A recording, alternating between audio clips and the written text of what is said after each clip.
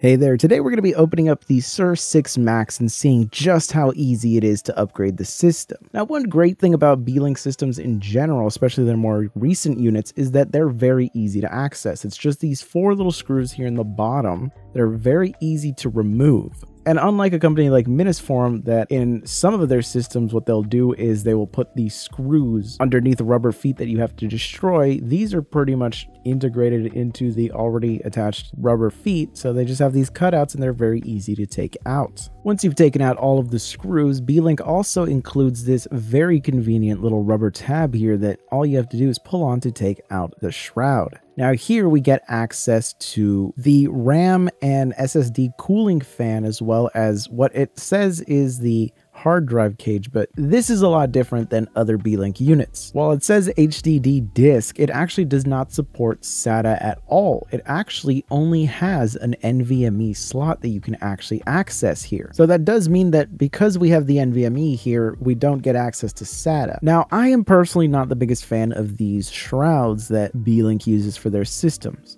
There are so many screws in a wide variety of different places, and a lot of them are different sizes. You'll have the one screw that is up there by the power plug, then you'll have another very easily visible one down here. Then of course there's the other one that is next to that one. Now there are two more screws that are a little hard to get to. They are at the corners here. The one at the bottom left corner here is an extremely long one, and this is one of the things that I really don't like about these shrouds and the way that Beelink does them. There was essentially four different sized screws throughout this entire system, and that means that you have to keep track on where they're going to be positioned and all that. Now, the next thing that I really did not like is just how awful it feels to try to pull up this shroud. There are essentially three cables that are attached to this shroud. There there is the power cable for the fan, there's the power cable for the actual power plug, and then there's a smaller ribbon cable here that actually goes to the NVMe that actually routes underneath the already pre-installed SSD. It feels really, really bad to try to open this thing up, and even worse when you're actually trying to disconnect anything. This implementation in general is just not one that I am a fan of in the slightest. If you're looking to get one of these systems and all of the opening process process seems like it's not going to be great, I would recommend just choosing the default RAM and SSD capacity that you would like and be happy that you at least get that secondary NVMe slot that you'll be able to utilize. And thankfully, at least that one is easily accessible. One actually neat feature is the fact that the bottom panel actually comes with pre-installed thermal pads and they even have one for the extra NVMe that you can throw in there. Overall, I have to say I'm a little disappointed with how the actual upgrade process was for this system. Specifically, I just really dislike how Beelink does their little shrouds here. This one, especially with the new NVMe ribbon cable, makes it extremely difficult to actually fully take off the bottom panel,